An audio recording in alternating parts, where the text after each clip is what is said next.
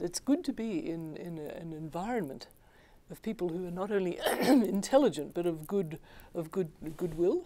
You know, I think it's really important that they um, have uh, a wish to see others succeed, and and when the environment is very competitive, it can be competitive in a good way, that people are competitive, but they also have high standards and want to see others sort of do well too. So so um, you know, I think it's important to look for that as you move into different environments and think about are you in a place where people people feel their success is because you succeed?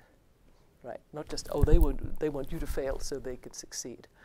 That's not a healthy environment. And I've had the good fortune to be in places where this idea that your success actually is good for others in the institution